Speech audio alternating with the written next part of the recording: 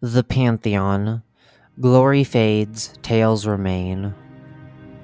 Phenomenon number 10 Avatarhood. Writings from the Pillar Scribe. Within the depths of this broken and twisted labyrinth, there lie scarce shreds of divinity, which may still be found. They are avatars, many of which walk amongst you without betraying their true nature or even their existence. Here, I intend to shed a light on these mysterious beings and demystify them. Avatars are incredibly powerful and influential beings, so godlike in stature that many were in fact once worshipped as a pantheon of gods by ancient humans. The source of this power slash influence are the pillars, which serve as the oversouls for their respective avatars. Each avatar holds command and mastery over a particular child, or a mortal is imbued with a portion of an avatar's essence care concept, that being the concept embodied by their pillar. Individual avatars have the capability to alter and impact an aspect of the backrooms itself, within their respective conceptual sphere. Avatars were initially created by the Pillars to spread the influence of their respective concept without their direct intervention in reality, which would be disastrous. An avatar may either be directly created by a pillar or result from a being embodying a specific concept so strongly that they forge a connection with the pillar of that concept. I have come to learn that I am an example of the latter, as a result of my blessings from the Terminus. Sometimes, they may be considered separate, with the pillar indirectly guiding the avatar or having no involvement. Other times, the pillar and avatar may be one and the same in consciousness, with the avatar being a direct incarnation slash manifestation of the pillar.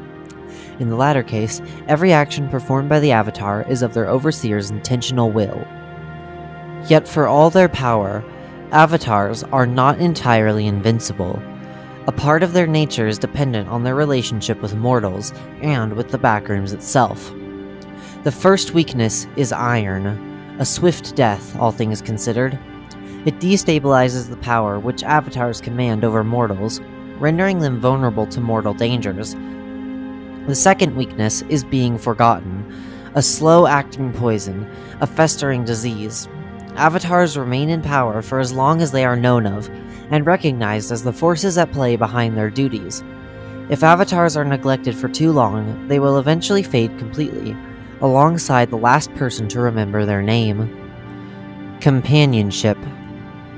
If avatars may be considered gods, then their companions may be considered akin to demigods, or the heroes of myth. Just as avatars bridge the gap between pillars and mortals, champions bridge the gap between mortals and avatars.